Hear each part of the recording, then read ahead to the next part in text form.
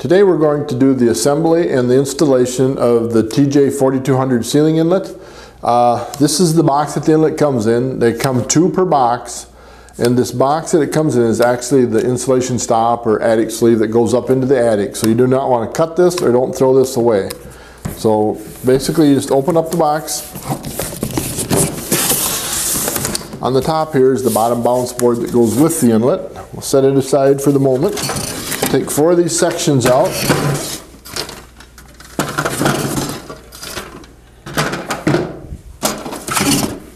And the package of the rods and the O-rings. So the first thing we're going to want to do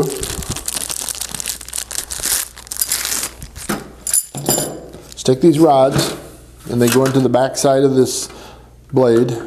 Stick the rod into the root, into the rod holders. There's these little rubber O-rings that we're going to slide onto the, slide up over the notch there. Put one on the other side.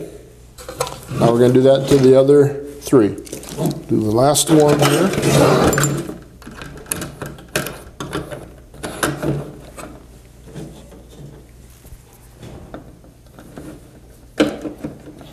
Okay, now that we've got those rod holders on there, we're going to take two of the sections and take the corners and you just snap them together here.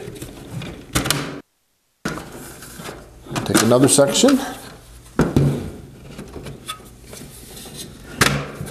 Snap that together. Now we're going to turn it around here. We got the three sections together. We're going to take this balance board here, the bottom plate of the inlet, slide it into this groove. Now we're going to take our, our last section here, slide it into place. Okay, now before we go ahead and install this inlet onto the ceiling, we're going to go ahead and run a bead of caulk. You want to put a bead of caulk around the perimeter of the inlet so it'll seal it up next to the ceiling tight. Okay, now this here's the box that the only inlet come in. This is our insulation stop. And you're going to have to take and fold these corners to shrink this box up a little bit.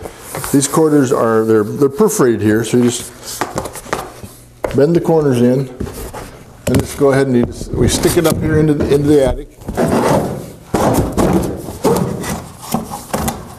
Get it up in there and then we're just going to take and we're just going to screw it into the, to the, the framing hardware that's already up there. So we fasten that into place. Okay, now that we've got our, our opening frame, we've got our insulation stop up there, we're going to go ahead and we're going to install the inlet. And basically just center it over the hole and fasten it to the, the framed opening.